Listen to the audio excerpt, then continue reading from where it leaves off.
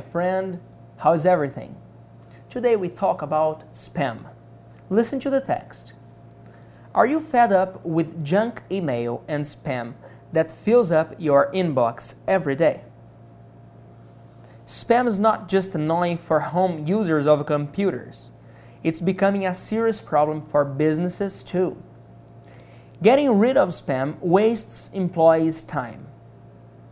Spam takes up space on computers and it can slow down or even jam normal email traffic.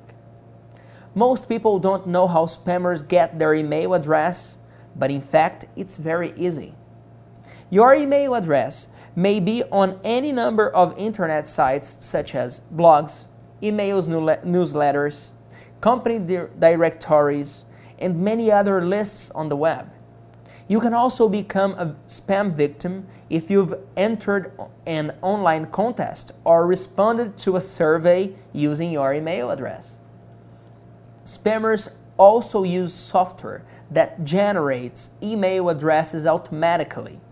This software makes up millions of email addresses by using common names and the addresses of well-known companies and internet service providers.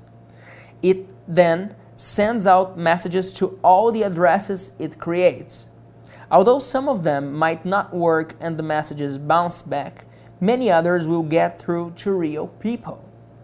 The spammers now have a valuable list of valid addresses, which they can sell to other spammers at high prices. Now, do you receive spam emails? What's your opinion about these emails? Have you ever replied, have you ever answered to a spam email? Answer these questions, my friend. When I ask a question to you, you can pause the video and answer the question in front of your computer because when you answer, you are working your listening and your speaking abilities. All right? Thank you very much. I'm Felipe Gibi. See you next.